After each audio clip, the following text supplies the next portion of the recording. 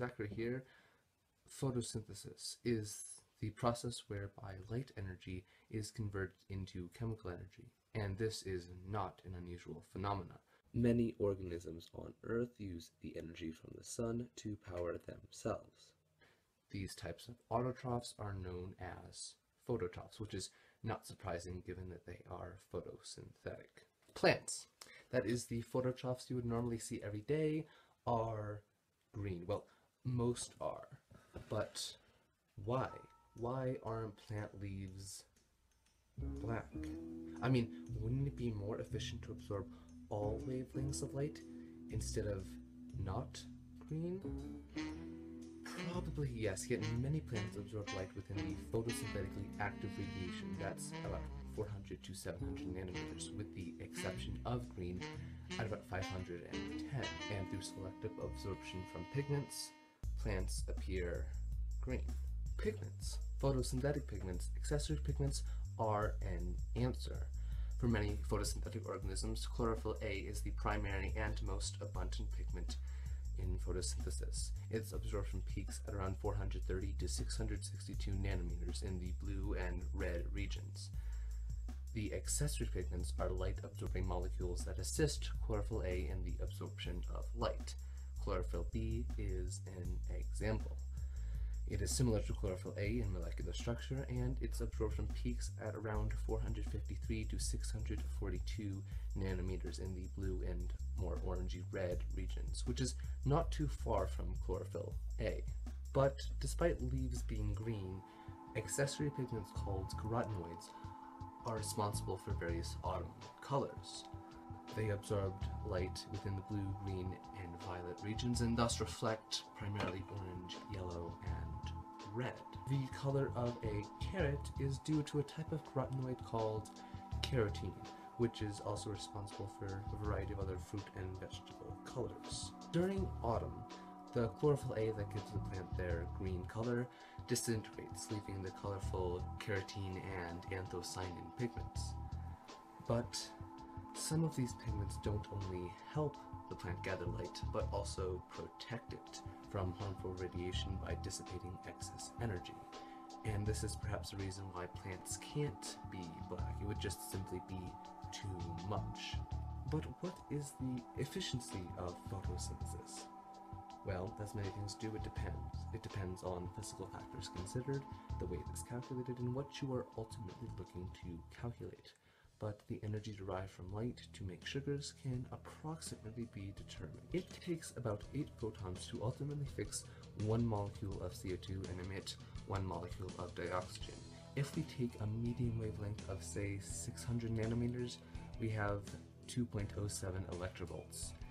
We raise that up to 8 moles, also giving us a mole of CO2, and we divide the energy needed to reduce CO2 to hexose by the light energy absorbed, and we have an approximate photosynthetic efficiency of 30%.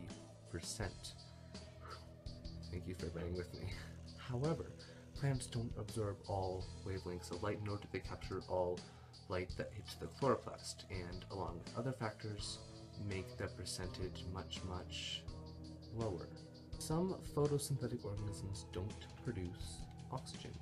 This is known as anoxygenic photosynthesis, and it only ever occurs in certain types of bacteria. These anoxygenic phototrophs don't use water as an electron donor as other photosynthetic organisms do. Instead of producing oxygen, they may produce sulfur. The primary pigment used in anoxygenic photosynthesis is not chlorophyll A, but bacteria chlorophyll, which absorbs light higher in the light spectrum than does chlorophyll A. But not producing oxygen is the norm in all phototrophs. Because photosynthesis is a diurnal process, at night no oxygen is released. In fact, it is the opposite.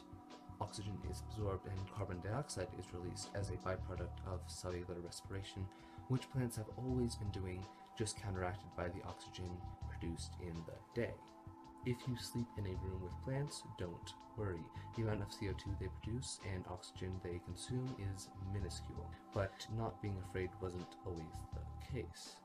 Hospitals believed that, because of this, patients would have to compete with oxygen intake of flowers that had been given to them, and this, along with morphological concerns, banned bedside flowers.